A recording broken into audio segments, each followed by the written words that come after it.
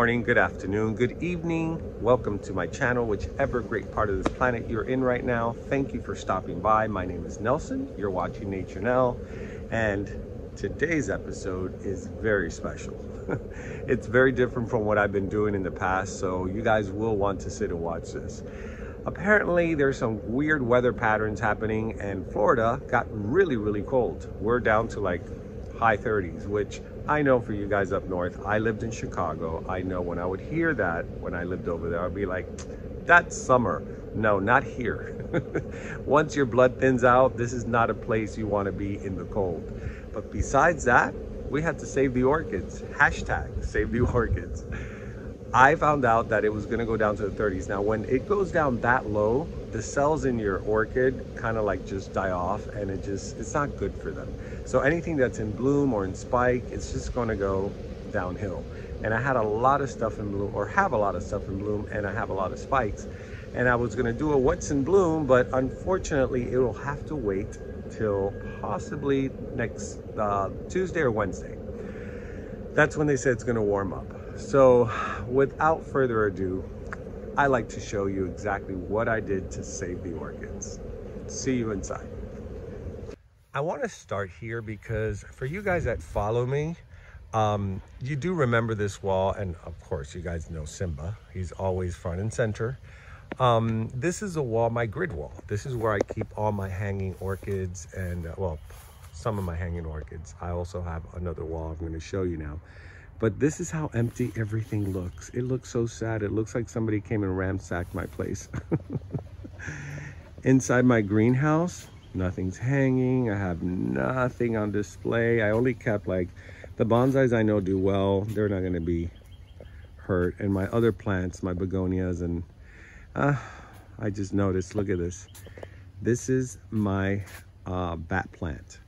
Now that show tells me it needs water. I didn't water it yesterday. They do like a lot of water. So I'm going to possibly water it later this afternoon when it warms up a little bit because I don't want to really shock it or damage um, anything. But when you see leaves like this on a bat plant, it needs water. So it's not dying or anything like that. It just, it's thirsty. So as you can see, I have nothing everything has been emptied out. I only left, you know, like my Queen of the Nights. And these three, I kind of like left them there to test. They've never bloomed for me. For years, I've had those. So I figured, let's see how they handle the cold weather. And then my dendrobiums, they're kind of rooted to the pole and it's just a little difficult to pull them out of there. So those are the only ones I kept, plus my um, arachnis that's over there by the tree. I cannot move that into here. So let's go ahead and check out how my orchids are doing. So they're inside here. I'm gonna shut off the phone for a second because I am flying solo today. I have no help. Well, I have my other cat here, you guys that haven't met him. His name is Patrick. Hey, Patrick. Uh, Patrick is thirsty. I know they kind of all look alike, right? so anyway, let's go inside and see how the uh, blooms are doing. All right, and through the magic of editing, voila, the door has opened. so check out all my orchids. Pretty much everything I own is in here. So this is what it looks like. I had no idea what they look like all together. And I it may look like they're all thrown on top of each other, but they're not. Everything is laid out strategically in order of where it came from. Uh, my cat Patrick has to be going through Discovery Cove right now. and so I created, so you can look on top, I need to do something quick. So I went to Home Depot and just got some chains and hooks and I did sort of like a curtain rod and it worked like a charm. Like I said, guys, I am a practical person where form meets function and I whatever I do is going to be easy for anybody else to do. So if you guys have a shack or anything that you can put a couple of hooks on top and just put a, a strong rod in between, you're good to go. Now, here I put a lot of my um, bigger hanging orchids and some that are in bloom like, let me see, like this just opened. This is my um, golf, I always mess up the name, golf green hair pig. I think that's correct. And then of course you guys have seen my Arachnis, uh, not Arachnis, Angraecum leonis. Here's another beauty. See, I didn't want to lose any of these flowers. This is the majestic um, wild cat golden star. No, red golden star, I think it's called. It has a long name. I just don't want to grab. Hold on, I could grab it. I know you guys are going to want to know, and then I have to search for it. And oh, actually, that was very close. Uh, Wildcat Golden Red Star. There you go. And I got that from Tang at Springwater. All right, I'm sorry. I'm trying to handle this and stay warm at the same time. And as you know, my Rhynchostylis chandelier, that was the very first thing I brought in here. And that I hooked on to my garage door um, rail because it was just too heavy to put on that wood. I only put on the wood, by the way, um, Vandas that were just um, free hanging. So that's pretty much it, guys. I mean, there's not much I can show you guys in this bundle of botanical love. so my Schomburgkia, the, my one of my biggest ones, which is blooming these beautiful, beautiful flowers. This is a Louise Fuchs um, Murmur Catley, I think. I always get that one wrong. You know, one someday. But anyways, it fit perfectly right there. I laid it right by the, the cushion. And I'm sorry, I should have just done this. I laid it by the cushion and, you know, she's just laying there very, very comfortably. So this is pretty much it, guys. This is what I did. You know, and of course, I got these two awesome handy heaters at Home Depot. They're reflective uh, heat, as you can see. It works with these coils and then it reflects out. I didn't want to get a fanned heat because I'm afraid it would have caused some damage on the leaves if it's blowing constant hot air. You know, this is the first time I do this, so I don't know. And I have, you know, as you can see here, my encyclias are spiking and I didn't want them to get damaged. So, and I didn't even want to use the floor because I know the floor gets cold, but I had no more room. So I put my Bulbophyllums down there, which I know they can handle a little bit of cold weather and my Paphiopedilums. Um, they don't mind a little cold and dampy. They can actually handle it better than most of my of my orchids because of previous cold snaps we've had. They pretty much handle it well. So, yep, this is it. This is my collection inside a shack. and I wish you can be here in person and see it. You, it, it. The photo flattens out the image a lot, so you can't really see it, but it's kind of cool to see the rows of Vandas. I feel like I own my own little botanical nursery. it's just so different to see them like this. All right. Let's go back to my little warm spot over there. All right, listen, I was gonna close the channel, but then I realized it's only fair to show you guys what I do have on my trees and how they held up overnight at low 30s uh, degrees.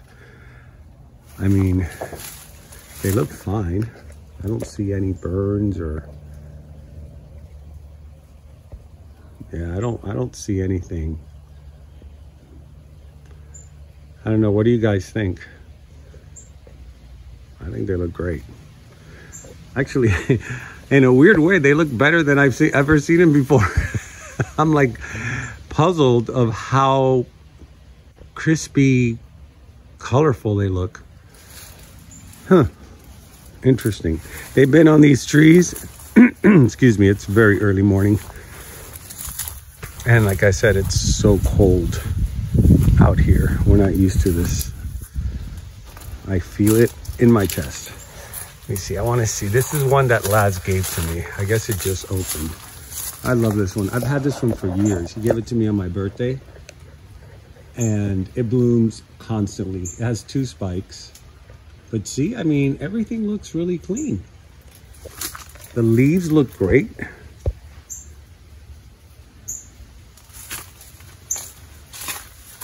Yeah, I'm happy. They seem happy, right guys? Yeah, they're happy. I love this little area here. And here inside my terrace, when we're sitting in here, you can see them all from the outside when they're blooming and it's like little paradise. So I guess the, the, the results of cold air, oh, here's another one. I've been cleaning these palm fronds because of the wind. The wind must have been so strong last night because when I got up early, it, there was palm fronds everywhere. And luckily, nothing got damaged. I have a orchid angel that looks over my collection. Yep, everything looks pretty, pretty good. I don't see, except for these, but this is normal for these, uh, I forgot what these are called. I cannot remember. These are so old. I've had, this was only like one one of these that I got at the Redland Orchid Show. And this was when I first started getting like outside the box of dendrobiums and phalaenopsis. So I got this with Laz like five years ago, six years ago. No, five years ago. I would say about five years ago. And it's taken off. And it blooms this beautiful little like pinkish and white. It's non-fragrant. I have the, I have the anosmum on the other side, but uh, that one's not fragrance, but it's so pretty. But yeah, looks really good. I'm, I'm like amazed. I didn't even look at these in the morning. I just saw so many palm fronds. I was freaking out that it destroyed something, but unfortunately, I already see a damage here. This is Lewis's section.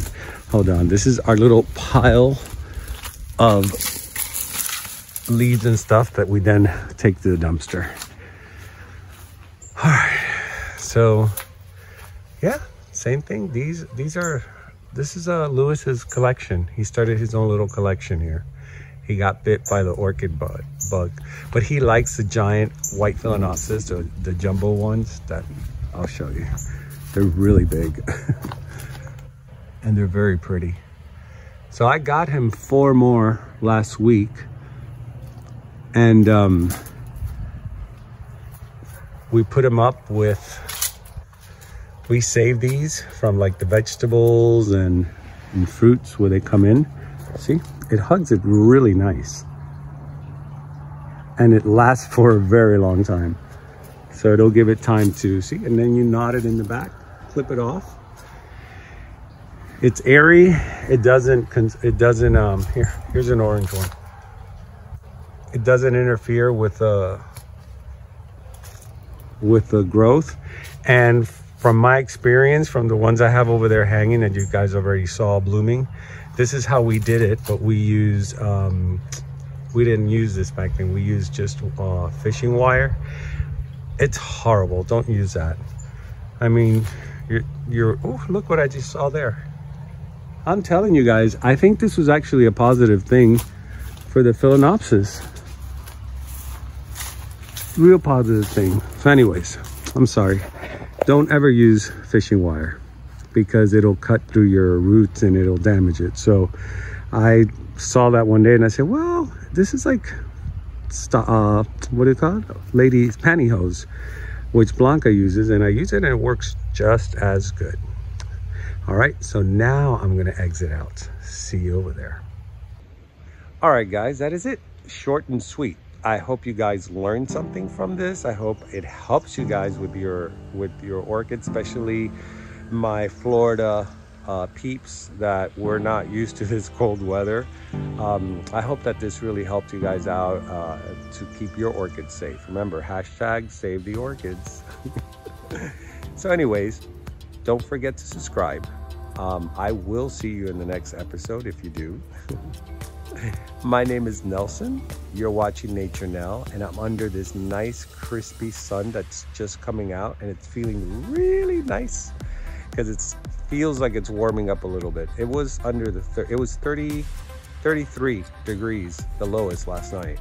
So that's not normal for us here in Miami. It just doesn't happen. So for someone like me who lived in the Midwest, and I find this to be really cold, it's a lot. So anyways, guys, thank you for sticking by. I will see you in the next episode. Remember to always keep it green.